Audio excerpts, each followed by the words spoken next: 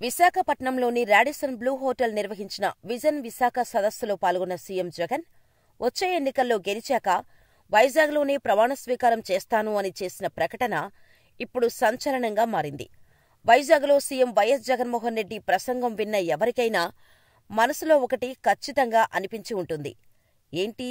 CM Jagan ఇంత కాన్ఫిడెంట్గా ఉన్నారు ఇంత బలంగా మాట్లాడుతున్నారు అని మనసులో తప్పకుండా అనుకొని ఉంటారు. ఎన్నికలు దగ్గరపడే కొద్దీ సీఎం జగన్లో ఉత్సాహం మరింత రెట్టింపవుతోంది. వచ్చే ఎన్నికల అనంతరం వైజాగ్ నుంచే పాలన సాగిస్తారని సీఎం వైఎస్ జగన్ స్పష్టం చేశారు. మళ్ళీ గెలిచి వచ్చాక వైజాగ్లోనే సీఎంగా ప్రమాణ స్వీకారం చేస్తానన్నారు. విశాఖ అభివృద్ధికి అన్ని విధాలుగా కట్టుబడి ఉన్నానన్నారు. ఈ కామెంట్స్ చేస్తున్నప్పుడు సీఎం జగన్ ముఖం చూడాలి. ఆయన కాన్ఫిడెన్స్ చూడాలి.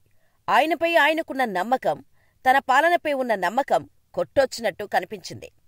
విశాఖలో జగన్ ఇచ్చిన స్పీచ్ ఉత్తరాంధ్రకే కాదు రాష్ట్రానికి భరోసానిచ్చింది. ఉత్తరాంధ్ర విజయాన్నే కాదు విశాఖ భవిష్యత్తును రాష్ట్ర బంగారు భవిష్యత్తు కోట్ల మంది కళ్ళకు కనపడేలా ప్రసంగించారు. భవిష్యత్తులో విశాఖ నగరం హైదరాబాద్ చెన్నైల కంటే ఎక్కువగా అభివృద్ధి చెందుతుందన్నారు. ఎన్నికల అనంతరం వైజాగ్ నుంచే పాలన సాగిస్తా ఈ ప్రాంత అభివృద్ధికి అన్ని విధాలుగా కట్టుబడి ఉన్నానని చెప్పారు. కాస్త మెరుగులు దిద్దితే విశాఖ నుంచి రాజధాని అవుతుందని ఇక్కడ ఆర్థికపరమైన వృద్ధి బాగుంది అన్నారు. ఇప్పుడు అమరావతిలో రాజధాని అభివృద్ధికి లక్ష కోట్ల రూపాయలపైనే ఖర్చు చేయాలని చెప్పుకొచ్చారు. పదేళ్ళలో హైదరాబాద్ చెన్నైకి పోటీగా వైజాగ్ ఉండాలన్నారు. అందుకనే అమరావతిని శాసన రాజధానిగా కర్నూలును న్యాయ రాజధానిగా ప్రకటించామని వివరించారు. అమరావతి సహా రాష్ట్రంలో ఏ ప్రాంతానికి వ్యతిరేకం కాదు. ఐకానిక్ సచివాలయం ఉద్యోగులు విశాఖ వస్తే మొత్తం మార్పు కనిపిస్తోంది. అప్పుడు దేశం మొత్తం మనవైపే చూస్తోంది. Institute of emerging technology university ఇక్కడకు రావాలి. అత్యాధునిక సాంకేతికతపై ఇక్కడ బోధన జరగాలి. భోగాపురం అంతర్జాతీయ విమానాశ్రయం శరవేగంగా నిర్మాణమవుతోంది. భోగాపురానికి ఆరు లైన్ల బీచ్ క్యారిడర్ రోడ్డు ఏర్పాటు చేశామని చెప్పుకొచ్చారు జగన్.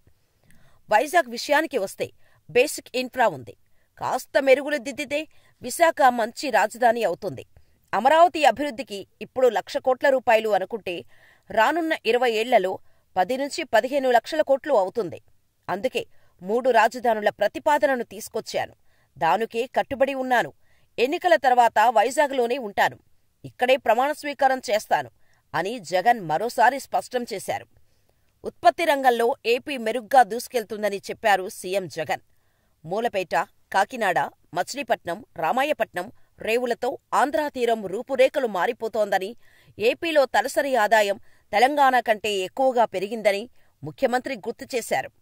తమ ప్రభుత్వం చేపట్టిన సంక్షేమ కార్యక్రమాలు తీసుకొచ్చిన పరిశ్రమల వలన రాష్ట్రంలో నిరుద్యోగిత శాతం తగ్గిందన్నారు సీఎం జగన్. డీబీటీ ద్వారా నేరుగా కోట్ల మందికి డబ్బులు జమ చేస్తున్నామని చెప్పారు. నిజంగా ఇది దేశంలోనే అత్యద్భుతమైన ప్రయోగమని ఆర్థిక నిపుణులు సామాజికవేత్తలు చెబుతున్నారు. దీని ద్వారా నిరుద్యోగిత రేటు తగ్గటం కాకుండా యువత క్రైమ్ వైపు టెర్రరిజం మావోయిజం వైపు మొగ్గు చూపకుండా తల్లిదండ్రుల ఆకాంక్షల మేరకు ఉద్యోగాలు చూసుకుంటారు. ఈ వాతావరణం ఏపీలో స్పష్టంగా కనిపిస్తోంది. మెగా భారీ పరిశ్రమల వలన కాకుండా చిన్న మధ్యతరహా పరిశ్రమల వల్ల ముప్పై లక్షల ఉద్యోగాలు ఇచ్చామని సీఎం జగన్ విశాఖ వేదికగా చెప్పారు. చంద్రబాబు హయాంలో పరిశ్రమలకు వ్యాపారవేత్తలకు కనీస విలువ ఉండేది కాదు. చంద్రబాబు హయాంలో అవినీతి గురించి కొందరు విదేశీ వ్యాపారులు కేంద్రానికి ఫిర్యాదు చేస్తూ లేఖలు రాశారంటేనే అప్పుడు పరిస్థితి ఎంత దారుణంగా ఉండేదో అర్థం చేసుకోవచ్చు.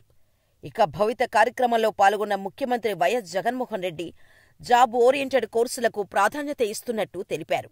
ప్రతి జిల్లాలో స్కిల్ కాలేజీ ప్రతి నియోజకవర్గంలో స్కిల్ హబ్ సెంటర్ ఏర్పాటు చేస్తామన్నారు. చదువుల్లో క్వాలిటీ పెంచుతున్నామన్నారు. విశాఖ వేదికగా ముఖ్యమంత్రి జగన్ మాటలు భవిష్యత్తు తరానికి ఆశాకిరణంగా కనిపించాయి. పిల్లలను ప్రపంచ పౌరులుగా తీర్చిదిద్దాలని అనుకుంటున్నారు. అందుకు తగ్గ వనరులను కల్పిస్తున్నారు.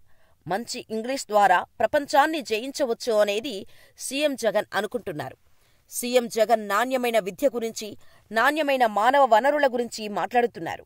ఎంతో ముందుచూపు ఉన్న నాయకుడు మాత్రమే ఇలా మాట్లాడగలరు. సీఎం జగన్ ప్రసంగంలోని కాన్ఫిడెన్స్కు ప్రధాన కారణం నిజాయితీ అవినీతి లేని పాలన.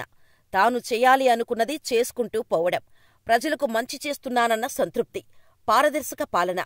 ఇవన్నీ ఆయనలో విశ్వాసాన్ని పెంచుతున్నాయి. అసలు తాను ఎందుకు మూడు రాజధానులు ప్రతిపాదన తీసుకువచ్చారో జగన్ అంత స్పష్టంగా చెబుతున్నప్పటికీ చంద్రబాబు అండ్ కో మాత్రం దీన్ని ఇప్పటికీ పెద్ద రాద్ధాంతంగానే చూస్తున్నాయి. అభివృద్ధి అంతా ఒక్కచోటే జరగటం మూలాన రాష్ట్రం విడిపోయిన తర్వాత కీలకమైన కంపెనీలు తొంభై శాతం హైదరాబాదులోనే ఉండిపోయాయి. ఆ తప్పు మళ్ళీ జరగకూడదన్న ఉద్దేశంతోనే మూడు రాజధానుల ప్రతిపాదన తీసుకువచ్చినట్టు ఇప్పటికే వివరణ ఇస్తున్నా వినే స్థితిలో లేరు చంద్రబాబు అండ్ కో. అమరావతిలోనే రాజధాని ఉండాలంటూ పట్టుబడుతున్న చంద్రబాబు వైజాగ్ కర్నూల్ వెళ్ళినప్పుడు మాత్రం ఈ విషయాన్ని మాత్రం ప్రస్తావించటం లేదు.